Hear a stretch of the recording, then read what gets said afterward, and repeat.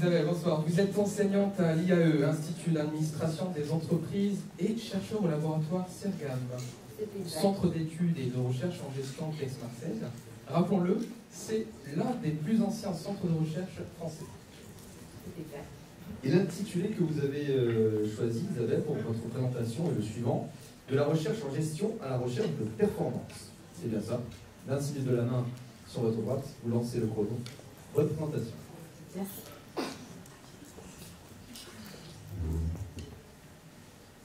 On me demande souvent, c'est quoi la recherche en gestion? Qu'est-ce que tu cherches? Eh bien, j'ai six minutes pour vous le faire comprendre au travers de mon parcours personnel. Alors, quand on fait de la recherche en gestion, on ne scrute pas une molécule ou une cellule au microscope.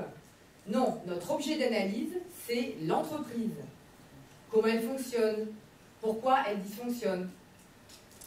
Alors, en biologie, on va analyser le comportement d'une cellule quand elle est attaquée par un virus. En médecine, on va prendre la température d'un patient pour savoir s'il a de la fièvre. Eh bien, en gestion, si on veut savoir si une entreprise va bien ou mal, eh bien, on va analyser sa performance. Autrement dit, sa capacité à créer de la richesse, de la valeur. On va se demander qu'est-ce qui joue sur la performance d'une entreprise? Qu'est-ce qui fait qu'elle va créer de la richesse ou non?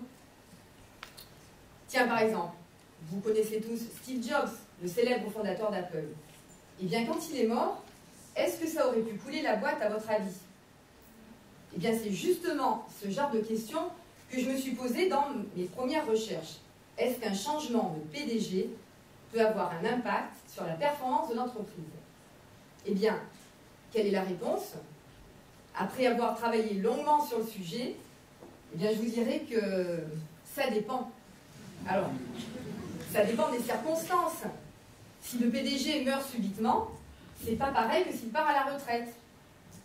Ça dépend s'il y a un successeur ou pas. Et s'il y a un successeur, ça dépend si on le recrute en interne ou à l'extérieur d'entreprise. Et puis ça dépend de l'entreprise elle-même, sa taille, sa performance, son secteur. Bref, c'est comme si on avait une énorme pelote de laine pleine de nœuds et qu'il fallait tout démêler. Et pour tout démêler, eh bien, il faut du temps, de la patience et surtout beaucoup de méthodes. Eh bien, faire cela en recherche, c'est adopter une démarche scientifique. Alors, c'est quoi une démarche scientifique? Eh bien, il y a quatre étapes. Dans une première étape, on va faire des hypothèses. Le médecin va dire, c'est une mononucléose. Moi, j'ai identifié une dizaine de situations types dans lesquelles je pouvais apporter une réponse claire. Par exemple, j'ai émis l'hypothèse que dans des entreprises faiblement performantes, un changement de PDG a un impact positif sur la performance, à condition d'avoir un successeur externe. Alors vous allez me dire, c'est bien beau de faire des hypothèses, encore faut-il les prouver. Car comme disait De Gaulle, des chercheurs qui cherchent, on en trouve, mais des chercheurs qui trouvent, on en cherche. Alors dans un deuxième temps, on va collecter des données. Le médecin va demander des analyses complémentaires pour confirmer son diagnostic. Eh bien moi, j'ai euh, recensé euh, des informations sur plus de 300 cas de changement de PDG. Et pour cela, il a fallu éplucher la presse, consulter des bases de données, des annuaires. Parfois, les bases de données sont payantes, il faut trouver un financement. Parfois, il faut se déplacer pour aller euh, chercher l'information. Et non, tout n'est pas sur Internet. Par exemple, il faut aller à la Bibliothèque nationale. Et pour avoir accès à la, Bibliothèque nationale, il faut prouver qu'on n'a pas pu avoir les données ailleurs. Et une fois qu'on y est, il faut attendre patiemment que l'on veuille bien nous donner l'information, sans quoi notre recherche ne pourrait aboutir. Et oui, c'est ça aussi la recherche, c'est un vrai parcours du combattant. Alors dans un troisième temps, on va transformer les données en variables. C'est-à-dire qu'on va coder, mesurer. Par exemple, pour la performance, on peut prendre des mesures boursières, des mesures comptables, à court terme, à long terme. On peut aussi analyser l'évolution du cours de bourse. Le cours de bourse, c'est un petit peu comme la courbe de température, elle donne une indication sur la santé d'une entreprise. Et donc, dans un quatrième temps, eh bien, on va tester si la relation entre les variables est bien significative. Et pour cela, eh bien, on va utiliser des méthodes statistiques à l'aide de logiciels d'analyse de données. On peut par exemple utiliser la, régression, pour citer la plus connue.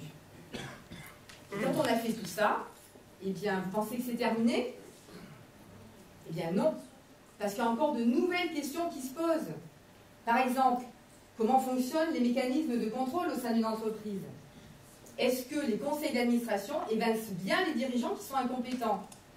Ou encore, comment est partagée la richesse entre les différents acteurs d'entreprise? Outre les dirigeants, il y a les actionnaires, les salariés, les clients, les fournisseurs. Quel est le rapport de force entre ces différents stakeholders? Alors vous allez me dire, à quoi ça sert de se poser toutes ces questions? Eh bien, ce qu'il y a de motivant dans la recherche en gestion, c'est que derrière l'entreprise, il y a des humains. Et que, en partie, grâce aux résultats de nos recherches, on peut faire changer leur comportement. Par exemple, des comités de sélection ont été créés au sein des conseils d'administration pour préparer la succession des dirigeants, parce qu'on a compris que cet événement pouvait fortement perturber l'entreprise. Bon, vous l'avez compris, la recherche, c'est jamais fini. Alors, moi, je vais vous laisser parce que j'ai encore du pain sur la planche. Merci.